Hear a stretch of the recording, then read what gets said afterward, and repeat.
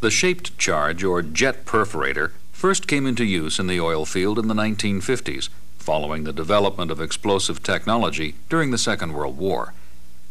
The four important components of the shaped charge are the conical metallic liner, the main explosive charge, the primer explosive, and the case that encloses the charge. Simply stated, the firing is electrically initiated by the detonator or blasting cap via the detonating cord, which in turn sets off the main charge. Explosive pressure on the metal liner causes it to collapse inwardly along its axis, forming a high-velocity jet of fluidized metal. Moving at a velocity of 25,000 feet per second, and with a pressure of 15 million pounds per square inch, the jet displaces the casing, cement, and formation, creating a perforation in only several hundred microseconds. Depending on the design of the shaped charge and the type of materials being perforated, the perforation length is generally about 2 to 20 inches, 5 to 50 centimeters, and the entrance hole diameter about 0.2 to 1 inch, or 0.5 to 2.5 centimeters. There is a zone of crushed rock around the perforation, and the precise shape of the perforation will vary somewhat depending on charge geometry, gun positioning, and target characteristics.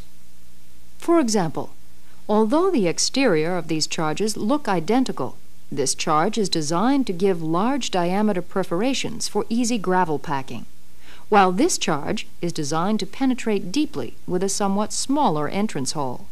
Here we see a charge that is designed to be run in a 6-inch or 7 and a quarter inch diameter carrier, while this charge is made for a 1 and 11 16 inch carrier. There is quite a bit less explosive power in this smaller charge, but that power can still be focused on maximizing hole size or penetration, depending on the needs of the completion. The position of the gun in the casing is another important parameter in determining the size of the perforation. Gun clearance is the distance from the casing inner surface to the gun. Penetration and hole size generally decrease as clearance increases. This issue is particularly important when small diameter guns are run through tubing into larger diameter casing. In such situations, the gun needs to be positioned against the side of the casing to create a single line of deep perforations.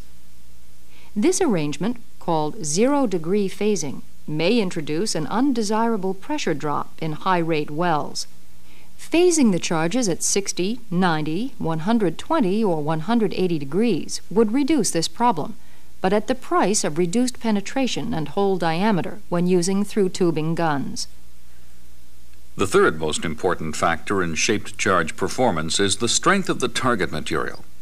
For example, a charge that penetrates 5 inches into the Berea sandstone target shown here will only penetrate 2 inches in a much stronger sandstone. In deep reservoirs where the formation effective stress is great, the penetration depth may be much less than surface tests indicate, and this factor must be considered when choosing a perforator. Charge performance is also affected by the quality control applied during its manufacture, where precise control of the liner and charge dimensions is critical. The care with which the charges are stored and transported is also quite important. Charges should be stored in sealed boxes until ready for use. Correct alignment of the shaped charges within the charge carrier, whether it be a semi-expendable strip carrier, a port plug gun, or any of several types of scallop guns, is a very important final step in the gun assembly process. The added cost of quality control in manufacture and assembly is a wise completion investment.